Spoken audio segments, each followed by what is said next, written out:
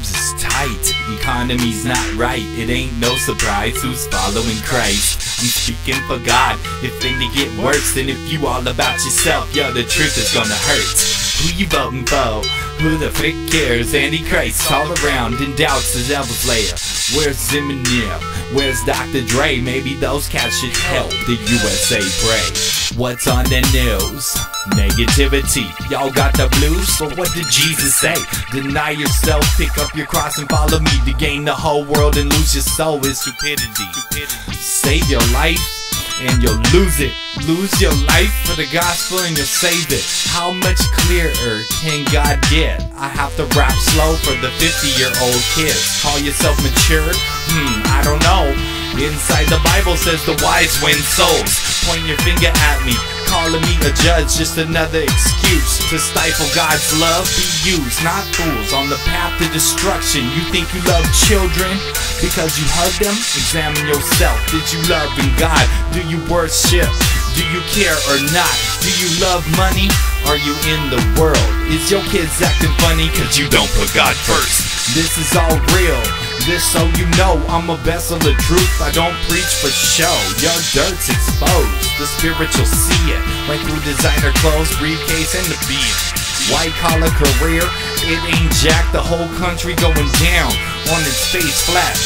I'm not a pessimist, I'm in Jesus. The way, the truth, the life, three main reasons. I spreads the gospel, the good news, the whole reason that I'm here to tell you Jesus died for you. Now I'm amazed at anointing in the last days. It's important to seek his face, live his ways, preach the holy gospel and see the people saved. A blood donor saved my life. Just let me introduce my boy Jesus Christ. He's coming at ya, coming to ya. Nickname the truth, he sees right through ya. Booyah. Tribe of Judah, lose ya. Even if they call you loser. Shaking the branches, real fruit. How many's doing what the Father called them to? Ooh. Real talk, man. Hey, let me be transparent with you just for a second, alright? This is Baby Moses. Some of y'all know me. Some of y'all think I am God's gang. This is not true. I am just a servant of the Most High God. I'm a humble member of the group, you know what I'm saying? I like to just kick it, you know, in Christ Jesus, and that's it, you feel me? I still struggle with perversion. I've struggled with lust. I've struggled with drug abuse. I've struggled with murderous intent. And, you know, for real, I, I've been on a limb in the Lord, but it's still the light path. It's still it's the light. it's still the light burden is what I'm saying. It is really the light burden in life. You choose the world and the weight of the world will kill you.